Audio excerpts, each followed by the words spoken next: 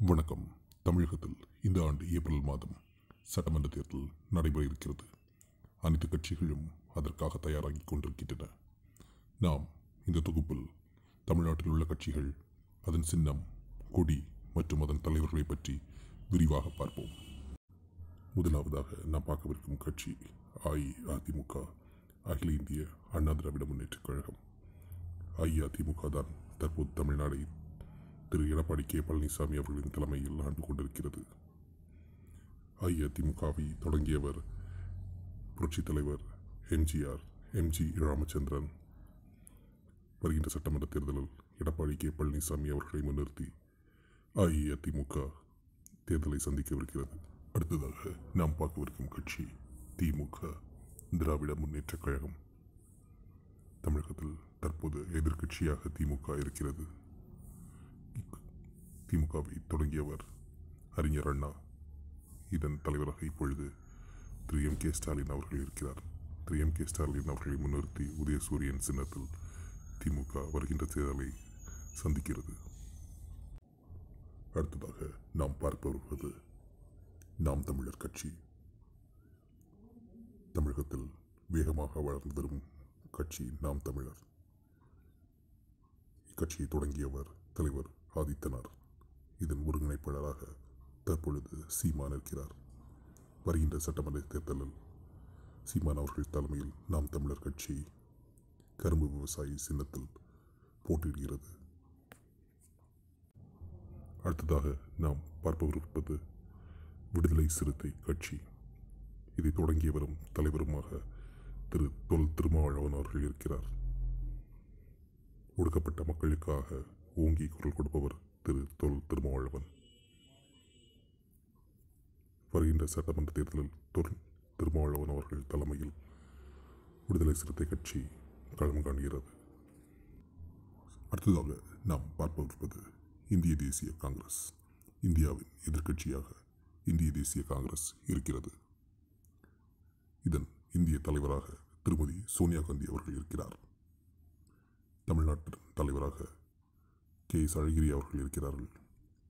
வருகின்ற சட்டமன்ற தேர்தல் கே எஸ் அழகிரி அவர்களை முன்னிறுத்தி கை சின்னத்தில் காங்கிரஸ் போட்டியிடுகிறது. அடுத்ததாக நாம் பார்ப்பது பாஜக. பாரதிய ஜனதா கட்சி. இந்தியாவை பாரதிய ஜனதா கட்சி தற்பொழுது திரு நரேந்திர மோடி அவர்களின் தலைமையில் ஆழ்கிறது இதன் தமிழ்நாட்டு தலைவராக திரு எல் முருகன் அவர்கள் இருக்கிறார். வருகின்ற சட்டமன்ற தேர்தலில் திரு. எல். முருகன் அவர்கள் தலைமையில் தாமரை சின்னத்தில் போட்டி போடுகின்றார்கள். அடுத்ததாக நாம் பார்ப்பது பாட்டாளி மக்கள் கட்சி. இதன் தலைவரும் இதை தொடங்கியவரும் ராமதாஸ் அவர்கள். வருகின்ற சட்டமன்ற தேர்தலில் ராமதாஸ் அவர்கள் தலைமையில் மாம்பழம் சின்னத்தில் பாட்டாளி மக்கள் கட்சி தேர்தலை களம் காண்கிறது. அடுத்ததாக நாம் பார்க்க இருப்பது தேமுதிக தேசிய முற்போக்கு திராவிட முன்னேற்றக் கழகம். இதை தொடங்கியவரும் இதன் தலைவருமாக திரு. விஜயகாந்த் அவர்கள் இருக்கிறார். அடுத்ததாக நாம் பார்க்கவிருப்பது மார்க்சிஸ்ட் கம்யூனிஸ்ட் கட்சி. இதன் இந்திய தலைவராக திரு. சீதாராம் ஜெய்சூரி இருக்கிறார் தமிழகத்தில் இதன் தலைவராக திரு ஜி ராமகிருஷ்ணன் இருக்கிறார். அடுத்ததாக நாம் பார்ப்பவிருப்பது தமிழக வாழ்வுரிமை கட்சி. இதை தொடங்கியவரும் இதன் தலைவருமாக திரு வேல்முருகன் அவர்கள் இருக்கிறார். வருகின்ற சட்டமன்ற தேர்தலில் வேல்முருகன் அவர்கள் தலைமையில் தமிழக வாழ்வுரிமை கட்சி போட்டியிடுகிறது. எழுச்சிமிக்க இளைஞர்களை கொண்ட ஒரு கட்சியாக தமிழக வாழ்வுரிமை கட்சி திகழ்கிறது. அடுத்து நாம் பார்ப்பது தமிழ் மாநில காங்கிரஸ். இந்த கட்சியை தொடங்கியவர் திரு. மூப்பனார் அவர்கள். தற்பொழுது அதன் தலைவராக இருப்பவர் திரு. ஜி. கே. வாசன் அவர்கள். ஜி. கே. வாசன் அவர்கள் தலைமையில் வருகின்ற சட்டமன்ற தேர்தலில் தமிழ் மாநில காங்கிரஸ் களம் காண்கிறது. அடுத்ததாக நாம் பார்க்கவிருப்பது அகில இந்திய சமத்துவ மக்கள் கட்சி. இதை தொடங்கியவரும் இதன் தலைவருமாக திரு. சரத்குமார் அவர்கள் இருக்கிறார். வருகின்ற சட்டமன்ற தேர்தலில் திரு. சரத்குமார் அவர்களை முன்னிறுத்தி அகில இந்திய சமத்துவ மக்கள் கட்சி களம் காண்கிறது.